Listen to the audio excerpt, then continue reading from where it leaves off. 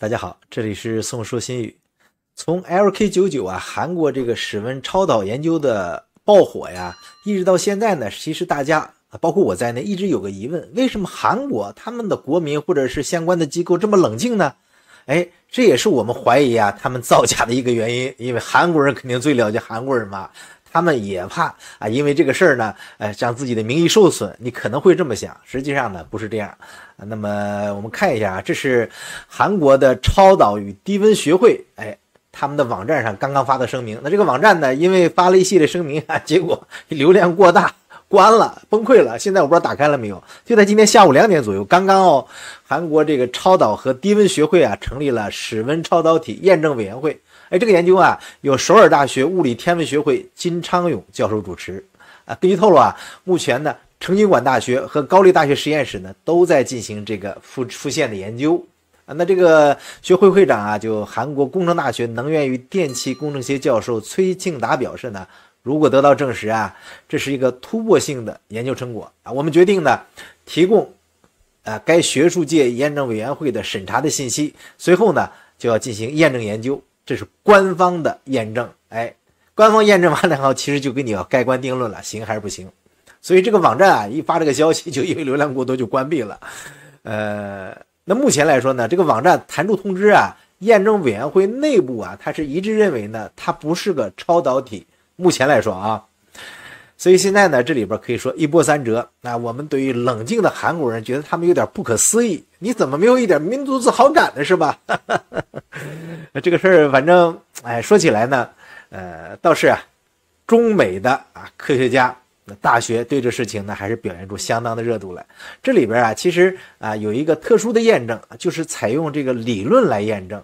你比如说，呃，在呃验证的这个论文里边啊，对 LK99 啊，它的早期论文啊，它对潜在的机，就是说超导的机制理论解释的不完整，所以很多的其他的这个高校啊、大学啊，包括中国、美国的，就对它进行了进一步的研究啊。这里边呢，都用到了什么呢？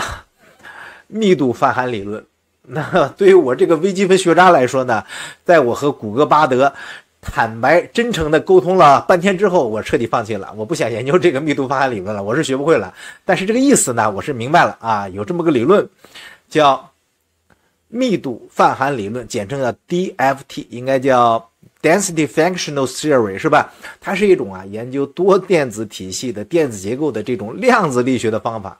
那密度泛函理论啊，在物理和化学上呢都有广泛的应用，特别是用来研究分子和凝聚态的性质，是凝聚态物理和计算化学领域最常用的方法之一。我也就说到这儿了，再往下的，无论是维基百科还是我找到的资料，我实在看不下去了。你想想吧，我们上学学微积分那个年代啊，偏微分方程啊什么的，我们用的是我印象中六十四 K 的。内存的苹果电脑做一个有限元的计算，花了两天是一周的时间，忘了。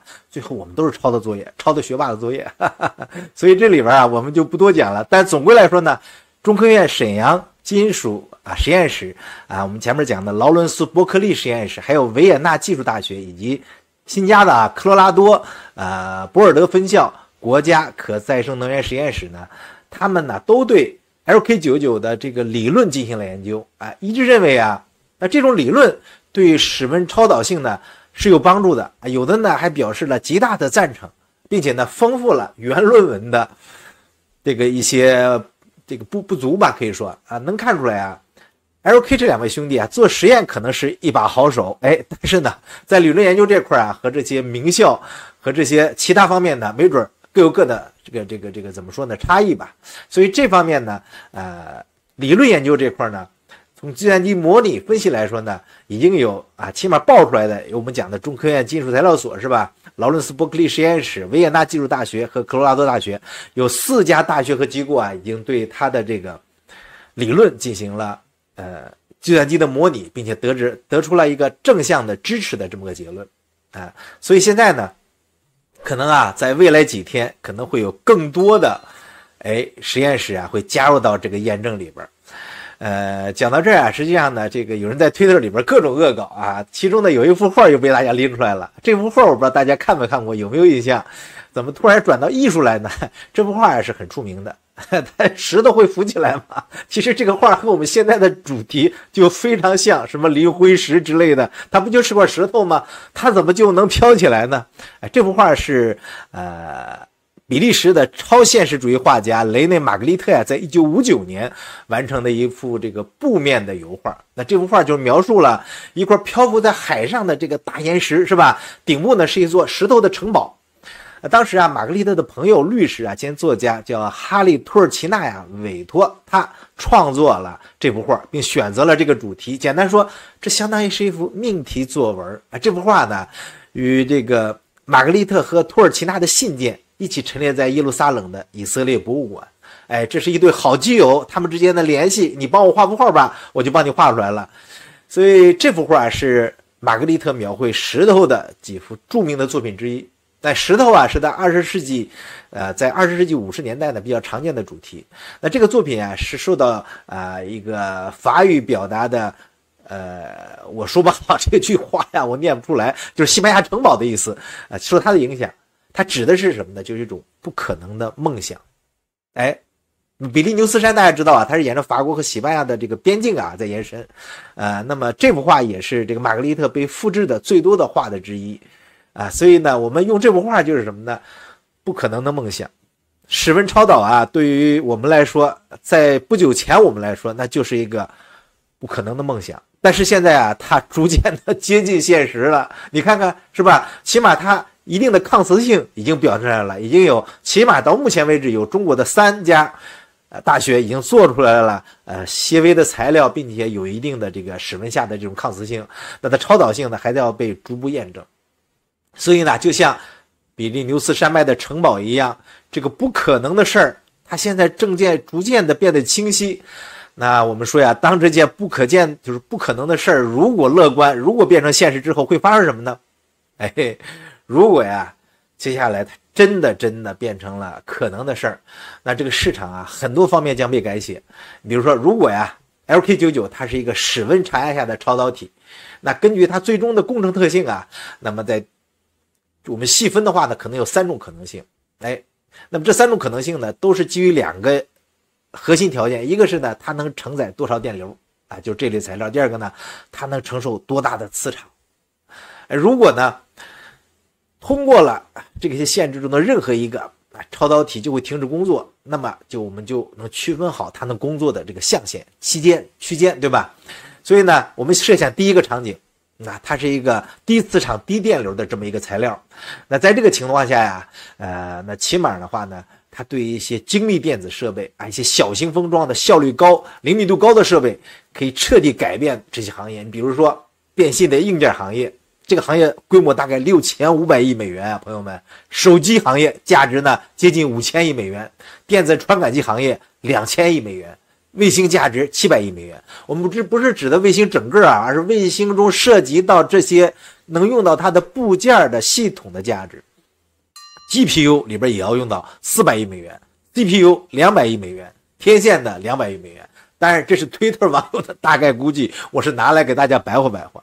那第二个场景呢，就是低场、低磁场、高电流啊这么一个场景。那在这个场景下呀，如果 LK99 可以承载大于一千安培。啊，呃，这个这么这个就是两两毫米平方的这么个大电流密度的话呢，但是不能承受高磁场，那么它在电力传输、开关、继电器以及大型电气设备行业呢，也具有重要意义。那这个行业呢更大了，像电力传输的话，三千两百亿美元；电线加电缆两千亿美元。我正在录一个超导电缆的视频，还没有做完，非常麻烦哈。这个行业确实是很大的。另外呢，像开关和继电器，我这是强电的啊，也两千两百五十亿美元，以及其他的这种强电产品。那场景三啊，就是高磁场、高电流，那就更牛逼了啊！LK99 呢，如果能在几个特斯拉的高场或者大于一千安培两平方的这个高电流下工作呢，那我们可以通过更换电机、发电机、运输设备来彻底改变整个基础产业，并且呢，让核聚变、手搓核聚变让它变为现实。所以呢，那它改变的行业就更不得了了，一点八万亿美元啊！这个这是发电行业的啊，因为我们现在你看看离了电什么能动啊？电动机行业电力拖动啊，三千亿美元；铁路货运两千五百亿美元；电力储能两百亿美元。哎呀，喝口茶啊！当然了，我们呀不能把这些总数相加，是吧？因为有时候呢，它会错综复杂，有的东西有时候会在高磁场、高电场工作，有的在低磁场、低电工作。不管怎么说，把这种叠加下来啊，它对我们整个这个世界的改变啊，它是一个恐怕呀，就是假如说我们说的这个 LK99 超导体，它能够实现超导，能够实现抗磁性，那保守估计啊，它。那对我们这个世界的影响，每年会带来接近三千亿美元的这个改变，也可能这个数啊被远远的估计小了啊。那么随着这个，如果未证实之后，啊，它更多的特性被暴露出来，可能对我们的世界改变会更大。那除了这个之外呢？呃，实际上呢，也有一些假的消息一直在流传，比如说关于原论文的一些谣传，比如说呃撤稿啊等等。实际上这个稿啊，它就是这个语音版的论文，撤不撤无所谓的。现在我关心的是呢，那什么时候在 Nature 或者在 Science 上发表？大家知道啊，现在这些复现的论文实际上都具备了在 Nature 投稿的条件。那如果这个原论文一直不投，这个让人情何以堪啊，是吧？所以现在呢。